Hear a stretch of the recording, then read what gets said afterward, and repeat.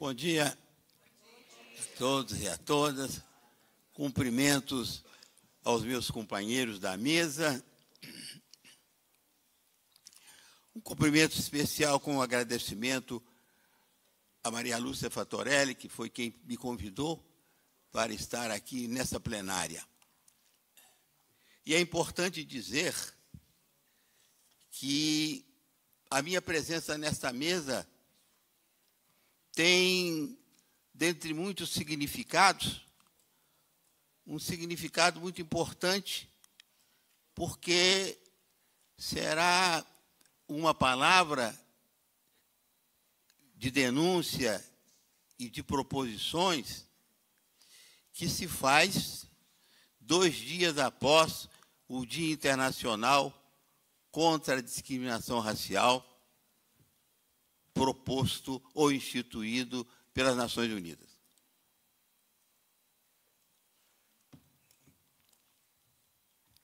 Eu poderia aqui falar das lutas dos antepassados nossos, da nossa luta e da nossa luta presente em favor da superação do racismo, do preconceito e da discriminação que envolvem a comunidade negra.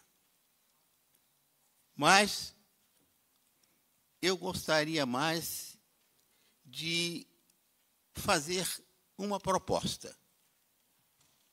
Uma proposta no sentido de que todos nós aqui pudéssemos nos engajar numa tarefa de valorização do negro e da negra, de valorização da comunidade negra.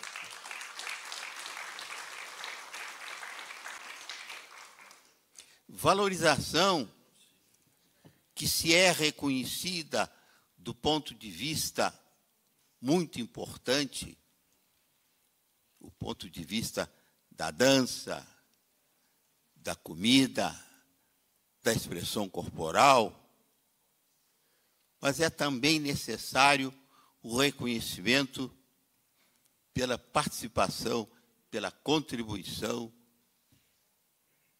da comunidade negra na formação da nacionalidade brasileira, de valorização cultural, de valorização do trabalho dos nossos antepassados e do trabalho que hoje nós, negros e negras, realizamos na contribuição para o crescimento do país.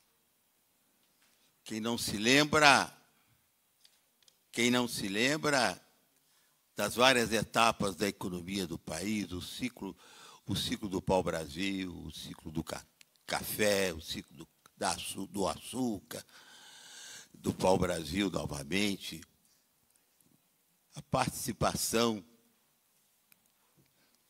daqueles nossos irmãos e das nossas irmãs escravizados. Mas também é importante uma visão para a realidade nossa. Realidade nossa manifestada na ausência de vários ou de todos os setores da sociedade brasileira. Não é que não se tenha instrumentos que possam reverter essa situação. Em função da nossa luta, das nossas reivindicações, nós conseguimos, por exemplo, a Lei 10.639, que é aquela que hoje faz parte das diretrizes da educação nacional, determina o estudo e a valorização da cultura africana e da cultura afro-brasileira. Mas, infelizmente, não há o emprego dessa legislação por aqueles que são os responsáveis, quais sejam os órgãos da educação. Ninguém ama aquilo que desconhece. E na medida em que as escolas, por intermédio de professores e alunos, tomem conhecimento dos valores da cultura africana, da cultura afro-brasileira, da cultura negra, servirá, sem dúvida, de instrumento para a superação do racismo. Na Constituição, há uma determinação para que os ocupantes das terras remanescentes de quilombo recebam o seu título de propriedade. Incumbe isso ao Estado brasileiro. Desde 1988, quando da promulgação da Constituição. E se é um dispositivo que vai em benefício dos remanescentes dos quilombos, que são os quilombolas, as quilombolas, é um dispositivo que também trabalha no sentido de uma reforma agrária. Mas a inércia do Estado brasileiro impede que os remanescentes das terras ocupadas pelos quilombos tenham o seu título de propriedade e que ficam ao sabor do latifúndio. É preciso, companheiros e companheiras, que todos nós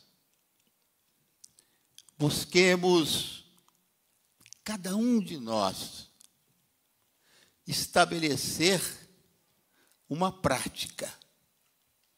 Uma prática que é importante para a democracia.